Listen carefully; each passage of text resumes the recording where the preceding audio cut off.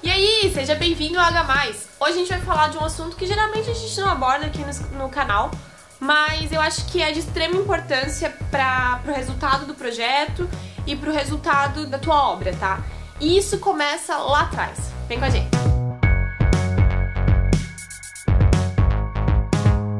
Hoje a gente vai falar sobre faculdade de arquitetura. Ah, o que? Quais são as matérias? Não. Hoje a gente vai falar sobre o que você, estudante de arquitetura, deve ou deveria ter feito no seu período de, de graduação. A faculdade de arquitetura é conhecida por estudos e até pelos estudantes mesmo como uma faculdade que demanda muito tempo de estudo, trabalho em cima de projeto e quebrando a cabeça e demanda mesmo. E assim, ah, então é para fazer faculdade de arquitetura tu tem que largar o mundo e, e focar em arquitetura? Não Vamos inverter o conceito de que o tempo é teu inimigo na arquitetura? Vamos usar o tempo como teu amigo na arquitetura?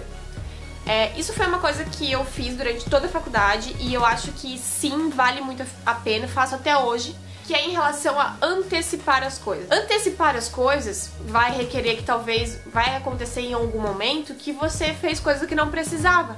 Ai, fiz coisa que não precisava. Ou, cabeça, você fez alguma coisa que você demandou tempo, que você botou sua cachola pra, pra rodar, que chegou num professor e ele falou: não, não é assim, é assim. Você ganhou conhecimento, você não perdeu tempo. Pensa assim.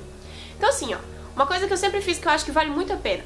Antecipe sempre as, co as coisas. Faça todo dia um pouquinho. Um pouquinho que seja, sabe? Ali meia horinha. Ah, vou, tenho que fazer. Hoje tenho que fazer projeto. Putz, vou resolver a parte de paisagismo de projeto. Ah, tô, sei lá, viajando no, no Instagram vou entrar ali, vou procurar uma referência de tipos de planta, tipos de paginação. O tempo todo você vai criando referências e conteúdo na sua cabeça que vai te ajudar na hora de projetar. Então, o que eu acho que vale muito a pena? Todo dia faça um pouquinho de cada coisa. Ah, essa semana é, vou ter tal entrega. Por exemplo, se eu tenho uma entrega na sexta, eu tô fazendo coisa desde domingo pouquinho que seja, entendeu? Antes mesmo da entrega, pelo menos na minha faculdade, a gente tem bastante, teve bastante assessoramento, tá? É, a questão dos assessoramentos é, o que, que acontecia? Você ia lá, ia lá, fazia um pouco, chamava o professor, ele dava um palpite, coisas do tipo. Porque eu via muita gente, a gente fazia listas de assessoramento, né? Muita gente assessorava o quanto podia. Isso eu não sou nenhum gênio da arquitetura, de estudante, sou longe de ser um padrão a ser seguido. Mas era uma coisa que a gente, a gente fazia e dava certo questão de sempre assessorar. Então você fez coisas antes do, do tempo, você não deixou para cima da hora, você usou o tempo como seu amigo e chegou em vários momentos que você tinha o que assessorar. Se você fez antes, você tem algo a, a mostrar, então você tem o que assessorar. E é nesse assessoramento que tem, tens que aproveitar e sugar o máximo do teu professor é meio tenso falar assim, mas é isso mesmo. Aproveita o cara que tá ali na, naquela hora, vai te dar a dica. E se fosse assim? E se fosse assado? Não faz só pra fazer, não faz só pra entregar. Faculdade passa assim, ó. A gente precisa desse conhecimento, entendeu? Tenha conhecimento não só das questões técnicas, mas pergunte pro teu professor, putz, como é que eu lidaria com isso na vida real? Como é que eu faria isso? Onde que eu teria que ir? Onde que eu vou? Sabe? Instigue o teu professor, instigue a pessoa que está te orientando. Ah, é professor, ah, é um, uma pessoa que tá, sei lá, da engenharia civil, ou tô conversando com um amigo, quis assessorar com ele, por que não? Não precisa assessorar só com quem vai te dar nota. Pô, assessora com todo mundo, vai conversar, vai, vai trocar ideias sobre aquele problema. Na faculdade, todo semestre a gente tem que resolver um problema. Vai atrás de outras soluções para resolver esse problema. Outra situação que eu acho que faz muita é, diferença na vida de um estudante de arquitetura são atividades extracurriculares, que volta um pouco no que eu falei da questão de procurar itens é, a mais para o teu projeto. A questão de extracurricular é fazer um estágio, sim, não é ficar tarde na faculdade sem fazer nada. É ir atrás de um, de um profissional para. Gente, o meu primeiro estágio, se um dia vocês quiserem, comenta aqui embaixo que eu falo como que eu consegui meu primeiro estágio. Sério. É uma história engraçada. Então, assim, se vocês é, forem atrás de conhecimento extracurricular, tô falando de estágio, tô falando de bolsa de estudo em outra, outro departamento. Arquitetura a gente sabe, todo mundo sabe, da, do ramo pelo menos, que é um compilado de matérias, é um compilado de assuntos que a gente tem que saber, a gente tem que abordar. É psicologia, é arte, a música, é tudo, tá? Então vá atrás de outros itens, vá atrás de outros conteúdos, abra sua mente.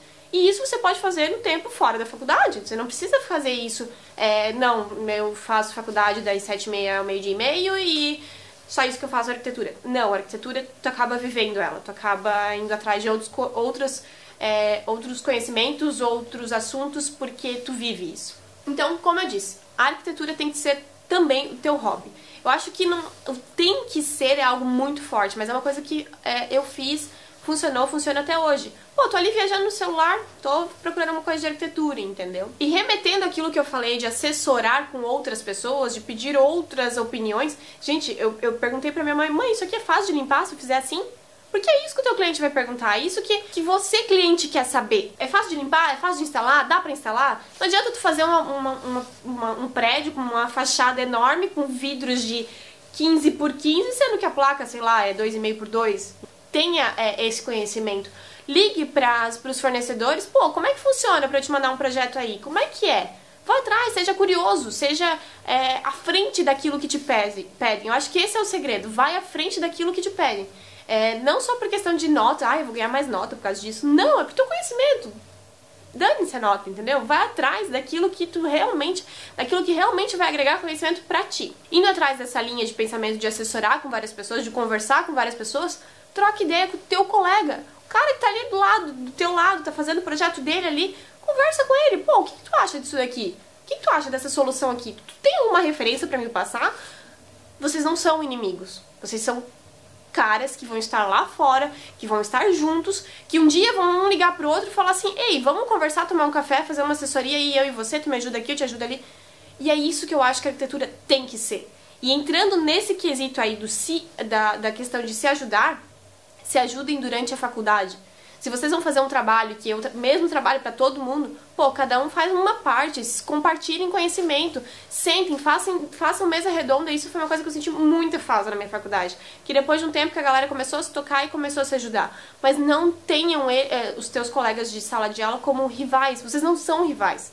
Isso vocês vão ver na, fora do mercado.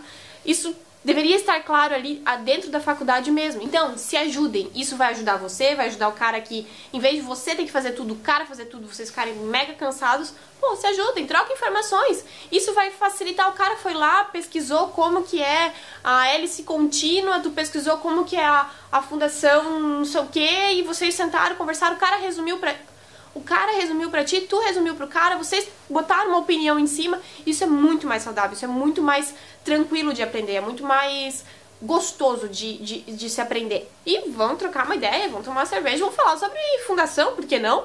Hoje a Mais fica por aqui. Se você concorda, se na sua faculdade faz alguma coisa do tipo, ou se você já está formado e sentiu falta disso, comenta pra gente aqui embaixo. Deixa aqui embaixo a sua experiência, se você fez isso na, na sua faculdade, que eu acho que é, compartilhando a gente cresce. Eu acho que muitos escritórios é, é, abordam esse tema. Eu acho que junto a gente tem que ir longe, sim.